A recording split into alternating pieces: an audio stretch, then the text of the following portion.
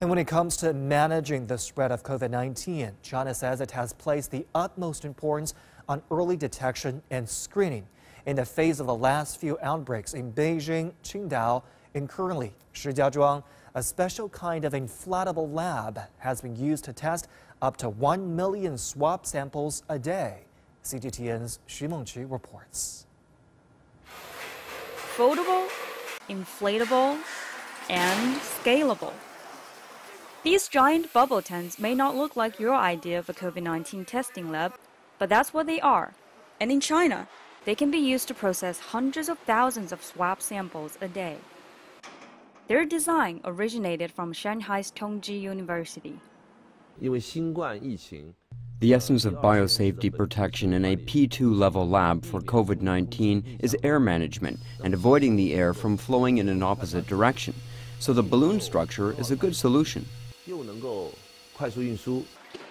The key to quick and mass testing of COVID 19 lies in automation, with robots able to extract nucleic acid at the heart of the process 10 times faster than humans. It's also essential to be able to move these machines around whenever and wherever they're needed. That was the task Su Yunsheng was given when BGI Genomics, a leading Chinese sequencing and testing company, approached his team in early 2020. We had our considerations when designing the volume of the modules. They had to be a size that allows for rapid expansion, but at the same time be transportable by air.